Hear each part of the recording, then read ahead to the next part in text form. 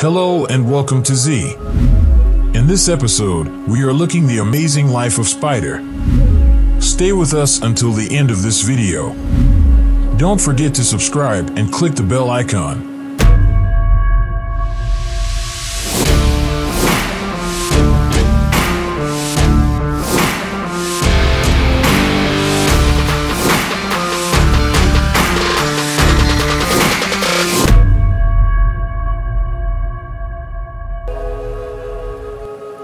Spider. Spiders are arthropods that breathe air and have eight legs, chelicerae with fangs that are typically capable of injecting venom, and spinnerets that produce silk. They make up the bulk of the spider kingdom and are ranked seventh overall among all orders of organisms when it comes to the number of species they include. Spiders can be found all over the world on every continent but Antarctica, and they have made a home for themselves in virtually every type of land ecosystem. Taxonomists have identified 50,356 different species of spiders belonging to 132 different families as of August 2022. However, ever since the year 1900, there has been a heated discussion among scientists regarding the best way to categorize families, with over 20 distinct classifications being put forward. In order for male spiders to avoid being consumed by the females, who are often much larger than the males, a number of intricate courtship rituals are used to identify themselves to potential mates. Because of their generally shorter lifespans, males of most species only make it through a few of matings. Cases for the eggs are woven out of silk by the females, and each case can hold hundreds of eggs. Females of many different species provide care for their young in various ways, such as transporting them around or sharing their meals with them. Only a small percentage of species are sociable and construct communal webs large enough to house ranging from a few to 50,000 members of their own species. Widow spiders, for example, engage in a form of social behavior known as precarious toleration. Other species engage in cooperative hunting and food sharing. Tarantulas and other mygalomorph spiders can live up to 25 years in captivity, which is far longer than the average lifespan of a spider, which is only about two years. Even though the venom of some spider species can be harmful to humans, researchers are currently looking into the possibility of using spider venom in medicine and as an alternative to polluting pesticides. Spider silk has a combination of lightness, strength, and elasticity that is superior to that of man-made materials. In order to determine whether or not mammals and plants can be utilized as silk factories, spider silk genes have been put into these organisms to test if they can produce silk. Because they are capable of such a diverse array of actions, spiders have become popular symbols in art and mythology. These spiders often represent various facets of patience, cruelty, and the ability to generate new ideas. Arachnophobia is the term used to describe an unreasonable fear of spiders.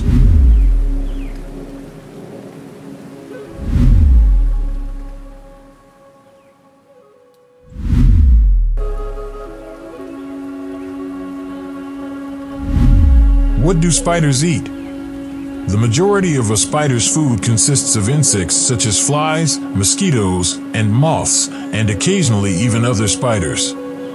Therefore, in spite of the fact that these predators with eight legs have the ability to cause terror in humans, it is to our advantage to have them around, since their presence can help prevent other bothersome insects from moving into our homes. Although insects make up the majority of their diet, it has been shown that larger species of spiders will also consume worms, snails, and even small vertebrates such as frogs, lizards, birds, and bats. Size range The body length of spiders can range anywhere from 0.5 to roughly 90 millimeters, 0.02 to 3.5 inches. The largest spiders are the hairy mygalomorphs, which are more widely known as tarantulas. Tarantulas live in warm temperatures and can be found in the Americas in the greatest numbers. The Goliath bird-eating spider, also known as Theraphosa leblondi or T. blondi, is one of the largest mygalomorphs. It can be found in some regions of the Amazon rainforest. The pinkfoot Goliath, also known as T. apophysis, is found only in southern Venezuela. In the 1980s, new information about the world's smallest spiders began to emerge. These spiders are members of numerous families that are only found in tropical regions.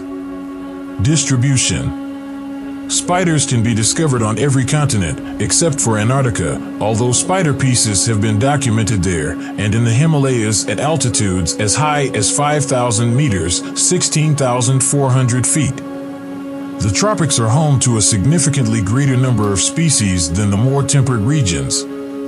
One Eurasian species of spider lives in slow-moving fresh water, despite the fact that the vast majority of spider species reside on land. There are few species that can be found living on the coasts of fresh or salt water, as well as on the surface of the water itself. Small spiders and the juvenile of many bigger species produce lengthy strands of silk that may be caught by the wind and carried enormous distances, which allows the spiders to travel further. This behavior, which is known as ballooning, is seen in a lot of different families and helps speed up dispersion. Within the confines of the northern jet stream, this pattern of distribution can be observed for certain species all over the world.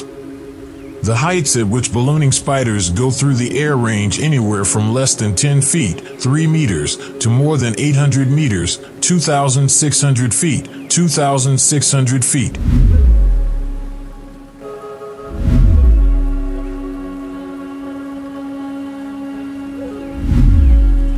Both the form and the function. External features.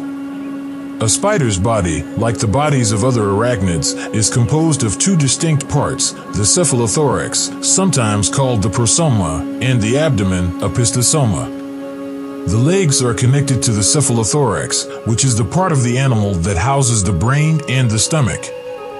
A protective structure known as the carapace covers the top of the cephalothorax. Another structure known as the sternum covers the bottom of the cephalothorax.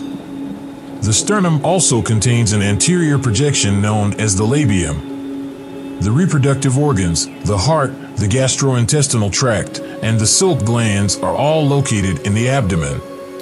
Spiders are distinguished from other arachnids, with the exception of the primordial suborder Mesothelae, by the absence of external segmentation of the abdomen and by the presence of a narrow stalk, known as the pedicel, that connects the abdomen to the cephalothorax. The stomach, nerve cord, blood arteries, and sometimes even the respiratory tubules, tracheae, travel through the tiny pedicel, which permits the organism to move in the essential ways so that web creation may take place. The Amblypygiae order of arachnids, which does not include spiders, includes the tailless whip scorpions. These scorpions have a pedicel but no spinnerets. In the same way as other arthropods do, spiders have an exoskeleton, exoskeleton. The endosternite is located within the cephalothorax, and it is to this structure that certain jaw and leg muscles are linked. Spiders are unique in that they have six separate pairs of limbs. The first pair, which are known as the chelicerae, make up what is known as the jaws. Each of the chelicera is terminated with a fang that serves as the entrance to a poison gland. In the tarantula-like spiders, the chelicerae travel forward and downward, whereas in the other spiders, they move laterally and together. The venom glands are occasionally contained within the chelicerae, which are also the passageway for the venom ducts. The pedipalps, the spider's second set of appendages, are changed in the males of all adult spider species so that they can carry sperm. Pedipalps are appendages that look like legs and serve as sensory organs in females and young males of the species. Pedipalps are utilized to manipulate food. The portion of the pedipalpal that is linked to the cephalothorax and known as the coxa is typically modified to form a structure known as the endite, which is utilized in the process of feeding. Internal characteristics Nervous system and senses. In contrast to the neural systems of other arachnids, spiders only have one nervous system, which is located entirely in their cephalothorax. The masses of neural tissue, known as ganglia, combine with a ganglion that is located beneath the esophagus, behind the brain, and above the spinal cord. The structure of the brain, also known as the epipharyngeal ganglion, is thought to mirror, to some extent, the behaviors of the spider. For example, in spiders that construct webs and are sensitive to touch, the posterior portion of the brain is larger than in spiders who hunt with their eyes. Spiders have simple eyes, which can have up to eight of them, and these eyes are divided into two groups, the primary or direct eyes, also known as the anterior medians, and the secondary eyes, which are comprised of anterior laterals, posterior laterals, and posterior medians. In the primary eyes, structures known as rhabdoms, which are responsible for light reception, are oriented such that they face the lenses.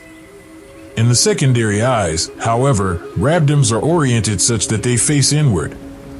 The placement of the eyes, as well as the anatomy of the secondary eyes, are characteristics that are unique to each family.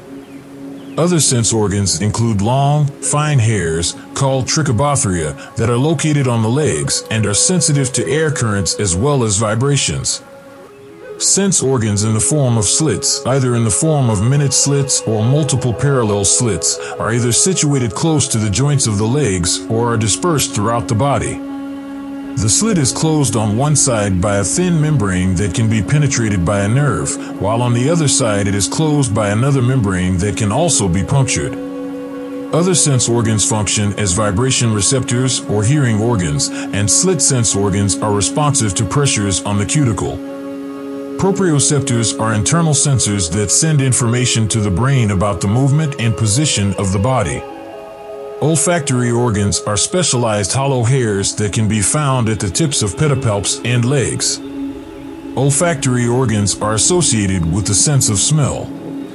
Pheromone detection is the primary function of the sense of smell.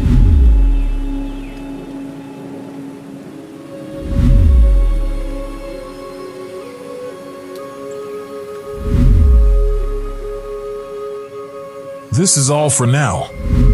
Thank you for being with us.